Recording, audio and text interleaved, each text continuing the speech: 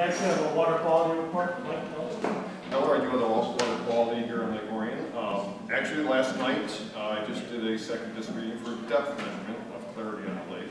We've had a lot of rain lately, we all know that. Uh, rain, I've seen a lot of, I've dug a lot of trash out of lake, sticks, parts of the docks with nails in it, um, you name it, I mean, tons. Um, lake's been cloudy. Uh, I read 12 foot last night. Uh, George and I read a lot more last year. I mean, it was some amounts we thought we were on drugs, and it was 19, 20, and we're at 12. And a lot of that is due to the rain, a lot of the wash off uh, from the rain beginning just a few days ago. Um, so other than that, we hope the water starts clearing up. I think all in all, is what I see. I see a lot of, the lily pads are slow right this year, all the growth has been slow. So I think be patient, even the fishing's been slow because of all the other things. So um, I think if we start to dry spells, I think our water's gonna clean up pretty nice. Um, I remember last year there were some parts, I've seen huge pools of fish when I was doing my Secchi disc readings and this sort of thing, looked like the ocean. This year's a little different. Mother Nature's been just dumping rain after rain. Um, but all in all, Lake Orion is, is one of the, one of the cleaner lakes in the bunch. We have the water quality report online available. Um, and there, if you want other information on water quality, this is just a snapshot of kind of what I do, but I have a wealth of information. I've got books on what I do, and I want to share it with the world really, uh, more specifically to Lake Orion. Um, but I have a sign-in sheet over there. You put your name, your address, email, whatever way I can connect you, I will definitely get back to you with any information, questions you have about water quality. And you can also help me, you can volunteer, come out, I'll give you the two cent tour of what I do and what water quality is all about, and really why it's important to us to, to maintain water quality and how we can assist with that. So again, I'm Michael Keller, and sign up sheet over there, or you can shake a hand after and, and exchange, you know, ideas and that sort of thing. So, thank you for your time. Mike, George, I'm just gonna say, I, I've got gray hair, so I was doing a lot of going a lot longer. than you. I'm on. You, you and I were quite surprised last year, because typically, know, eight, eight or nine years when we first started, with it, in the spring, probably because the rain stuff, the water clarity would be like eight feet, by the fall, it be sixteen to seventeen feet. Yep. You and I both found last year that it started at about ten or eleven, and it got up to whatever you said, nineteen or twenty, so I would say that our water quality, at least from a clarity standpoint, has improved pretty significantly over the last eight to ten years. oh, for sure. Yeah, and uh, so so it's, and I I can't remember what classification we're, but we're a high, middle level lake. It's not pristine, but it's really good quality, considering the Yeah. amount of traffic and people and activity and stuff. Yeah, the reports, again, in George, that's great, you go online to the, the historical reports that actually show that, that the uh, scatter plots and different things, so indeed, we have been improving the lake in ten years. So, you- so if you look at the lake, it's cloudy, it's, the lake is filthy. Not really, from a scientific standpoint, data standpoint, it's actually not. So, and, and it's our job, the people that live on the lake, that, easier said than done, but we've got, we've got some presenters today that are also gonna help, um, talk about some other different things that are happening in the lake that we can also assist in. And so there's a lot of volunteer opportunities. Feel free, to drop me a line, just sign in, take her over there, or shake a hand after, and get your contact info, and, and let it go from there. The, the year is just kicking off, there's a lot of time, so, again, thank you for your time. Thanks, Mike. Uh, Our guest speaker is uh. Alrighty, so uh, my presentation is really to uh, uh, uh, to really hit home at the point that Steve's job is incredibly, incredibly difficult because uh, when it comes to managing aquatic weeds on a lake, uh, there's no there's no right way to do it, there's no wrong way to do it. Because science doesn't doesn't like to work in in black and white like that. Um, so, uh, uh, like Steve was saying, uh, lakes are dynamic, um, and the interactions that plants have uh, with the lake is dynamic, and it's really particular to every single lake. A management plan for one lake is going to be completely different than the management plan for another. Um, physicists have it easy uh, with their science. They get to have every action has an equal and opposite reaction, right? Um, when you study ecology, every action has an infinite number of reactions and an infinite number of triggers. so we run into problems with that. Um, and that's why uh, what I really wanted to do for this presentation was uh, uh, uh, describe some of the nuance uh, uh, that we have to take into consideration when we approach talking about the plants that are in our lakes. Um, so, uh, exotic aquatics, an exploration of the invasive plants that threaten Michigan's waterways. Um, what is an invasive species is the first thing I'm going to hit, um, because before I trash talk these plants, I want to uh, give a little context. So, uh, how do scientists define an invasive species? Uh, we use the word invasive, but uh, uh, we didn't start using that word for plants. We use that word for war. You know, it's a, it's a human word. It's, it's a word that describes uh, uh, uh, problems that we're happening between that are happening between members of a single species. When we're talking about an invasive species, we're talking about a member of one species that is entering an, alien world, uh, a world that is completely unlike uh, its native habitat. So uh, we don't want to use these words like colonizer, weedy, alien, pest, nuisance, noxious, non-indigenous. They all have a, a connotation to them, uh, a human emotional connotation.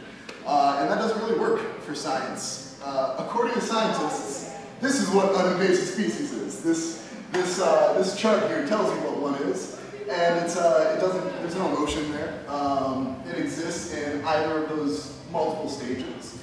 Um, and an invasive species isn't what we necessarily always think of. Uh, uh, we have the weeping willow tree from China, uh, for example. Uh, it's here, it's foreign, uh, it didn't naturally grow in this environment, but uh, you don't see weeping willows taking over the roadways, you know, taking over the, the ditches in the side of the road because that's not how a weeping willow works, you know? So it might be a foreign species, but if it doesn't fit enough of our requirements, it's not actually going to be invasive or dangerous. Uh, in order for a species to be invasive and dangerous, you need to have that species come to a new area and then also have traits that make it dangerous in that area. Uh, things like propagule pressure, which is just a fancy way of saying, uh, does this species have a lot of things that are pushing it into new places? You know, um, and a weeping willow doesn't have propagule pressure. It doesn't, not releasing uh, loads of seeds that are going everywhere. In fact, all of the weeping willows in America are males. Um, so it can't propagate like that. Um, but what we're dealing with, the things that are a problem on our lakes, uh, starry stonewort, um, Eurasian water milfoil, they exist in these stages. They've met enough requirements that not only are they foreign, but when they get here, they just have a ball. They love the conditions here. And there are, they, they existed for millions of years in their native habitat, growing alongside their native neighbors, right? Uh, and they got along with each other. They, they, they grew to a natural equilibrium, right? When something is transplanted, is transplanted to another environment and has the correct properties, uh, uh, but is not restricted by the by its original neighbors, then it can get really out of. Uh, and that's what we see with Eurasian water milfoil, with curly leaf pommy, and with particularly starry stonewort. And that is what I'm going to talk about mostly, um, is a tale of starry stonewort. And Lake Orion, as we've already said, is well, well established as a species. Um, so what is starry stonewort? It comes from Europe, and this is, I want to I want to I want to humanize it. I don't want to just talk about it as an invasive species that, that, that is a problem. Because where it's native, which is everywhere from Germany to Japan, it exists in very, very small amounts. It's actually really rare, and it's considered an indicator of high water quality, which is, which is fantastic. Um, and that's because in its native environment, it's kept in check by those things that have lived with it for a very, very long time. Um, and it, and it has come from the same places that our zebra mussels have come from, that the round gobies have come from, that the Eurasian water has come from. Uh, and it's gotten here because it travels in ballast water. Um, so it can travel past the salty ocean by staying in ballast water. Uh, they've started to empty ballast water out in the middle of the ocean to prevent these things, but you don't always get what you want out of that. Um, so the issue is that uh, starry stonewort um, is uh, uh, unlike the Starry stonewort has a lot of ways to propagate. Uh, starry stonewort, you can take a little fragment of it and be stuck to the bottom of your boat, right? Uh, and it gets stuck to the bottom of your boat, gets stuck to your prop in Lake Orion. Let's say you take your boat to uh, that pristine trout lake up north that only that only you know about. You know, it's, it's the perfect place. Uh, if you get that little fragment of starry stonewort and it rehydrates once you put uh, your boat in because you can wash your boat, uh, you come back to that trout lake in five years and you don't have a trout lake. Um, and starry stonewort is particularly, particularly in, insidious because of these guys right here, these bulbils, as they're called. Uh, it's where starry stonewort gets its name. It's the only one that has these bulbils that look like that. And these guys uh, bury themselves in the sediment, and they can stay in the sediment for years. And even if you rip up all the starry stone, if you if you go through the lengths and the money that it takes to rip up all of your starry stonewort um, through dredging, or they're actually there are ways that you can vacuum it, um, incredibly expensive. Uh, you're still going to end up with bubbles in your soil that are then going to give rise to a whole new generation. Um, so we are dealing with a big problem with starry stonewort. It's, it comes from another place and it has all of the traits that it needs to thrive incredibly well. So what are the consequences of this? Um, you may have seen conditions like this on your lake before. Uh, this is a billowing starry stonewort. It's, it's supposed to be a deep species, right? And this has gotten its way all the way to the shore because when starry stonewort, uh, it first it colonizes that really deep place that really there aren't any other native Michigan plants. Uh, they just don't grow that deep around here. Uh, one of the things that does grow that deep is Eurasian water milfoil, and ironically, lake managers have had a lot of success getting rid of their Eurasian water milfoil because starry stonewort outcompetes it. Uh, it's just that much more vicious, which is incredible. Um, but starry stonewort has, uh, uh, it, it's dangerous. Um, it's a physical hazard to boaters and swimmers. I don't know, on Lake Orion, have you ever uh, experienced uh, a chunk of starry stonewort floating to the surface? It'll just get detached when it dies. Um, it's a hazard for, for boaters, for skiers. Uh, and when a single species dominates a lake like this, uh, it will collapse the ecosystem. You only have one species. Uh, I study food webs. And if you don't have diversity in your, in, in your lake, if you don't have a lot of different species filling a lot of different roles, uh, your, your ecosystem is going to collapse. You know, your fish won't find the food that they need. They won't have the space that they need to, uh, uh, to, to mate and raise their young, you know? Um, so starry stonewort is, uh, uh, it's very difficult. Um, it also, uh, uh, like, uh, like Steve said earlier, it actually increases the water clarity in your lake. Um, superficially, you have better water quality. Um, but you also won't have any other species than starry stonewort in your lake and you lose your fish. So these are the issues with starry stonewort. And the management reality, like I said, Steve has a very, very difficult job. Um, they've done studies on how to manage starry stonewort. Um, a combination of physical removal and chemical removal had the best impact, but it couldn't get rid of the bubbles. Um, so the reality is that uh, when starry stonewort is established in a place, at least for now, it's going to be there. Um, one of our solutions is we can wait 10,000 years, and then it will have evolved uh, perhaps to adapt to this environment.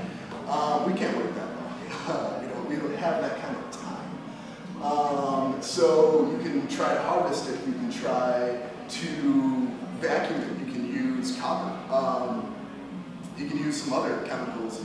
But every management technique that you have, like I said, uh, you're not dealing with, you know, uh, uh, an action and an opposite reaction. You're dealing with a million.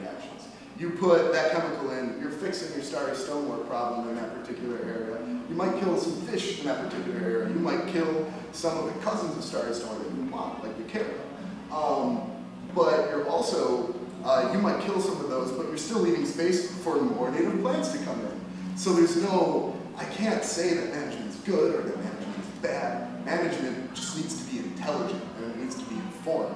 And from what it looks like, Steve, your lake manager, is doing the work. Uh, he's he is trialing different different management techniques, and you will not know what works on your lake until you've done it on that particular lake, because the because the circumstances of every single lake is what uh, uh, is what makes it different and what makes it very difficult to manage these plants.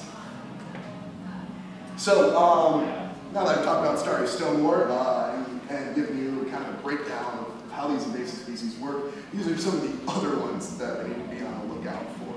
So Hydrilla. Hydrilla is not in Michigan yet. This is one species that hasn't been in Michigan yet, but it is, I believe, in either Indiana or Illinois, so it's coming. And it is an inevitability at this point.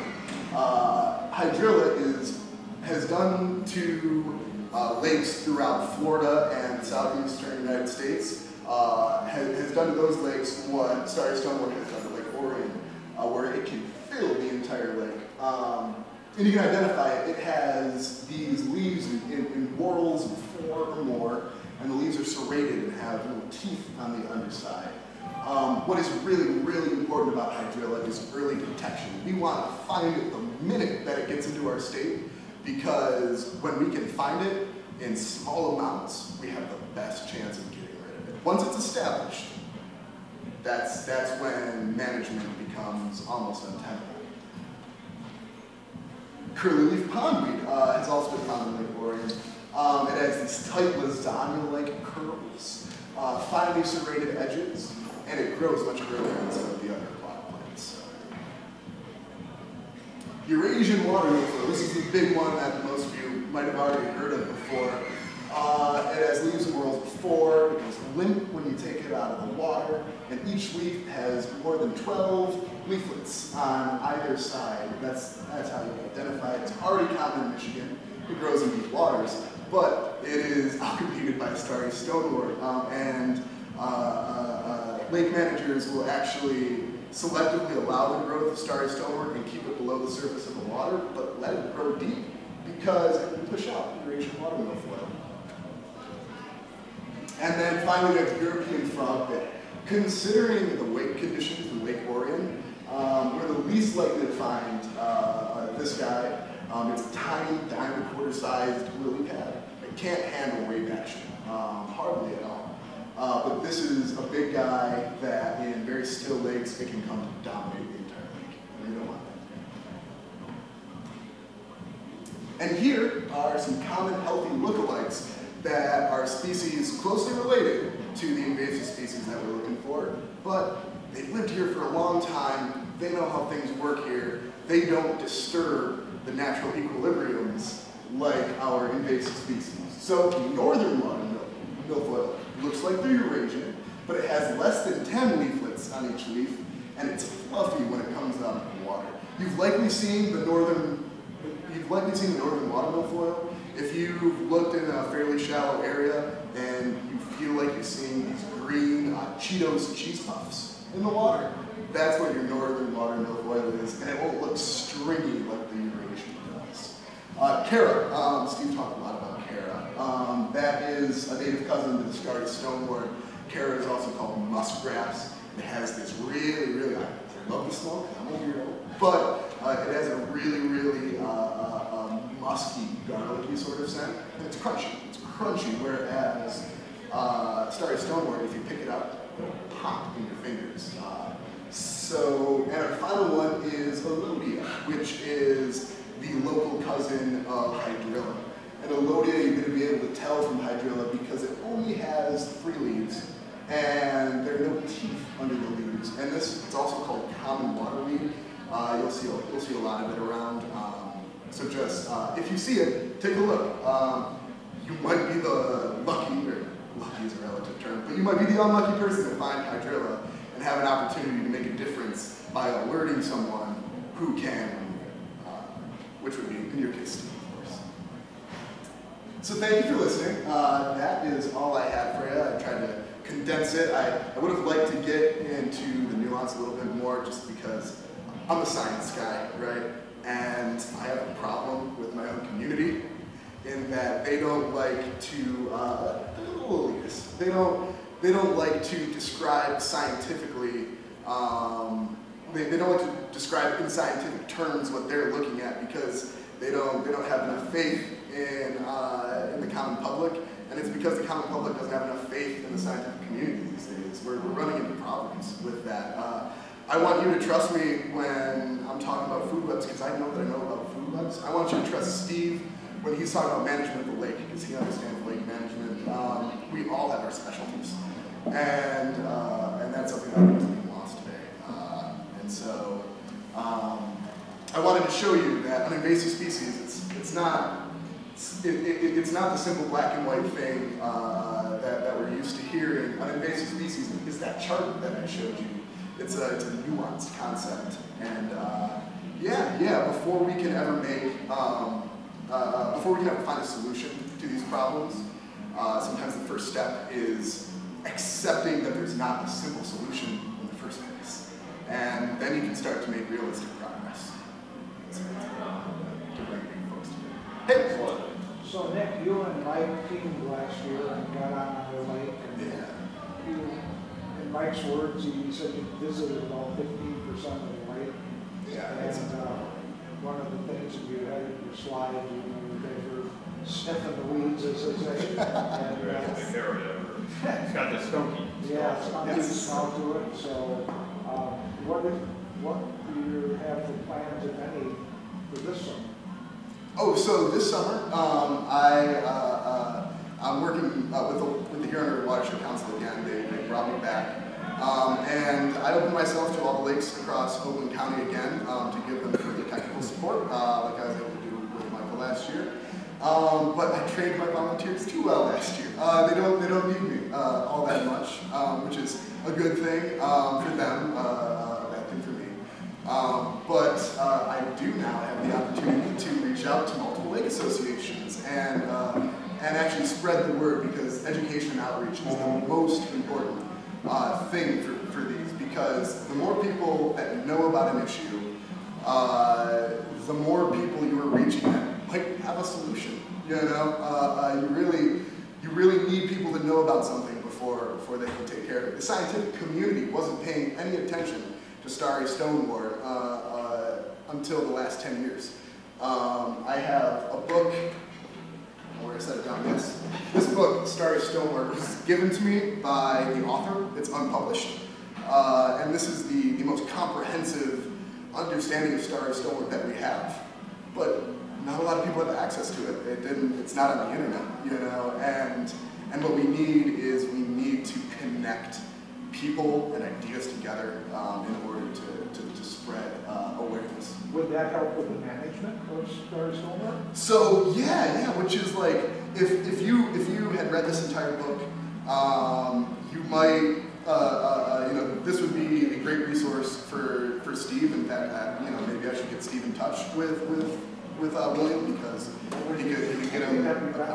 Absolutely, yeah, yeah, because um, uh, uh, the more eyes that you get on any one topic, the, the better off you are.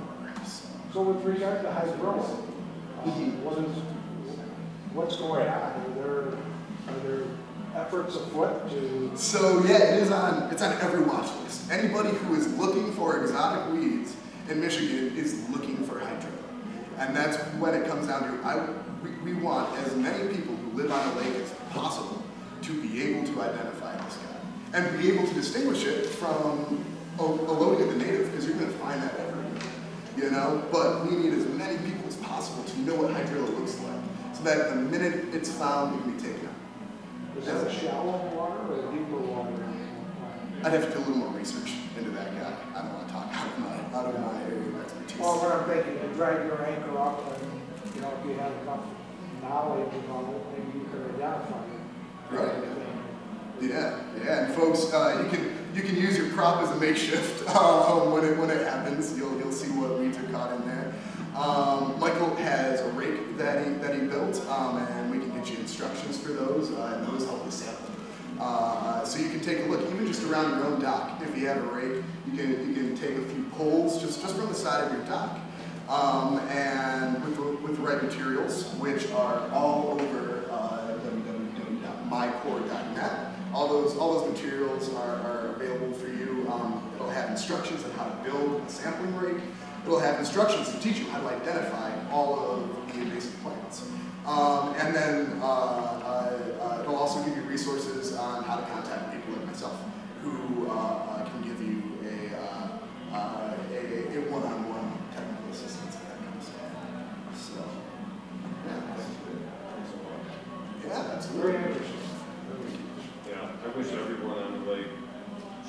forced to look at a smartphone. And like, if you wanna buy this house in the lake, you you gotta, you have to watch this sentence. Like, Yeah. Look, look for these certain guys, because it's that important. Yeah, if we had environmental education, you know, uh, uh, uh, it's just, um, at, if, if that were just as important of a rule as your zoning rules, you know, you would see, you would see huge changes in this kind of stuff. But it just takes people to know. you know. Well, You unfortunately, people don't wanna do nothing until they start taking it away, or their lake starts disappearing. Oh, what's going on? I need to get up to speed here. Okay. Exactly. I mean, that's, but no, thank you, that's really great. Can I have this smartphone, can you just send it to me? Absolutely, absolutely. No, the pictures were great,